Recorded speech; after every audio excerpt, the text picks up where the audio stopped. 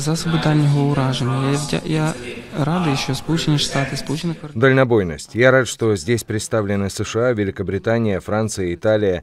Я хочу сказать это открыто, чтобы не было никаких спекуляций. Благодаря нашей общей отваге мы совершили очень важные операции, в частности в Крыму. Эти операции позволили нам вернуть безопасность в Черном море и наш экспорт продовольствия.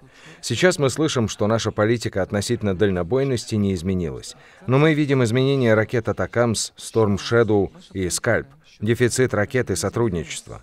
И это касается даже нашей территории, которую оккупировала Россия, включая Крым.